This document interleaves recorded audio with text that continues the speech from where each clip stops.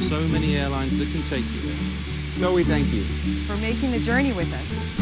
Thank you. We're glad you're here. And now we'd like for you to pay attention to the following safety Insert the metal fitting into the buckle and pull on the loose end of the strap to tighten. To open, lift up on the buckle. We recommend you keep your seatbelt fastened at all times, as turbulence can occur unexpectedly. As we prepare for takeoff, this airplane, there's an additional raft located in a marked storage compartment in the business class cabin.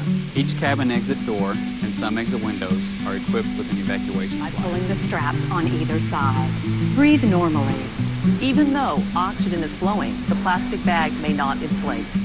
Always put your own mask on first. once outside, pull down on the red tab to inflate the vest. or blow into the red tube on the right side of the vest. There's also a light that will illuminate upon contact with water. Never inflate the vest inside the For choosing American Airlines. Thank you for flying American. We're glad to be your airline. Glad you're here.